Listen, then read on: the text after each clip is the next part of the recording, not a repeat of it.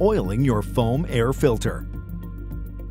In this video, we will show you how to oil your foam air filter with our biodegradable air filter oil.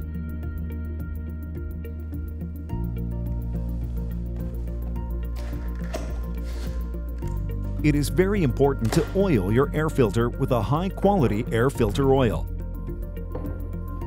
The oil microcoats the foam cell walls and prevents dirt, dust, mud, and even water from entering your carburetor or throttle body.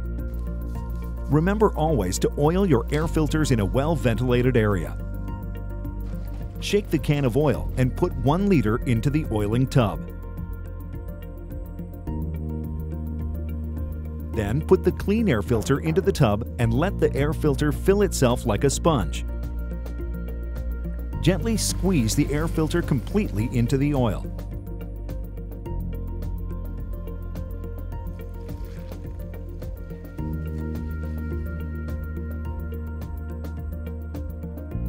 You can stop massaging the filter as soon as the filter is uniformly green. Allow the filter to sit for 10 minutes. Massage the filter again noticing how the filter oil is thicker and stickier.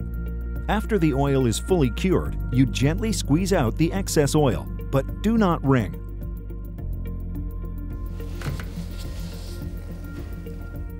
If necessary, repeat the preceding actions.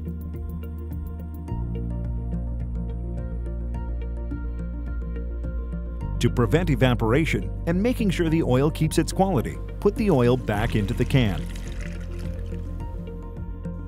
Leave the filter out to dry in a well-ventilated area.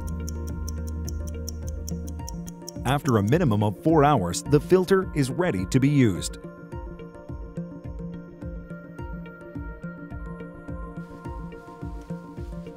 Store pre-oiled filters preferably in the resealable twin air bag in a temperature-controlled room. You can use Twin Air Contact Cleaner to clean your air filter bolt and cage before installing your air filter.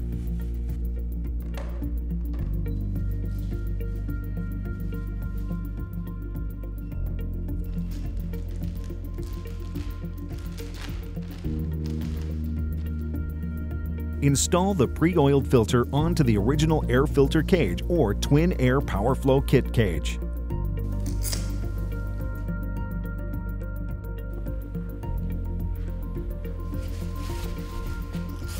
Make sure to clean your airbox.